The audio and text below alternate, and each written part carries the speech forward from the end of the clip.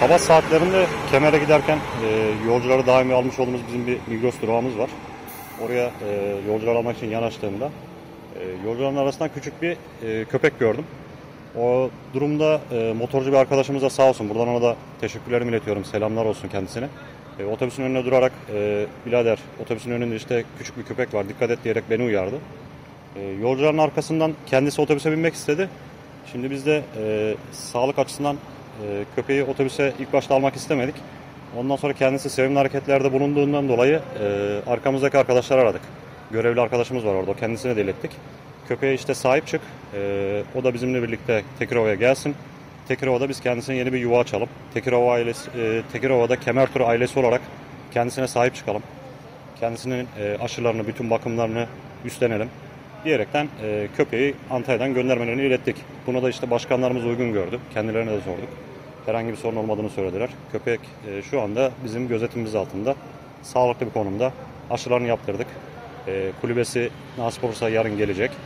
E, bütün eksiklerini tamamladık. Şu anda gayet mutlu ve sevimli. Köpeğimiz şu anda Tekirova yazanemizde.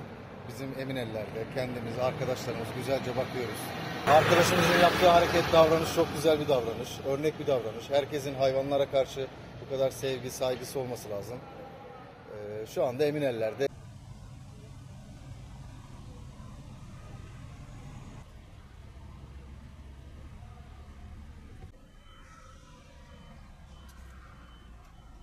sıkıntı yok mu? Sıkıntı eee, şeyle.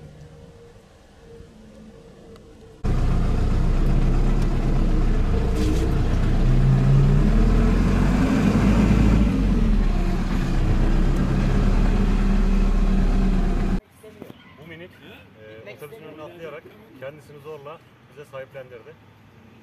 Biz de onu kırmadık. Köpeğimizi sahiplendik. Şu anda burada çok mutlu.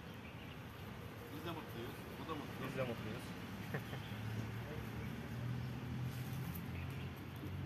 Değil mi? Heh. Ne oldu?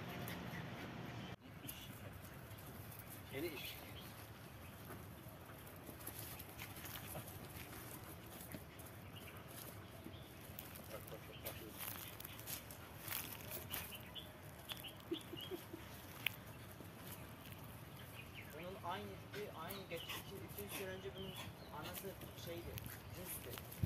y'all.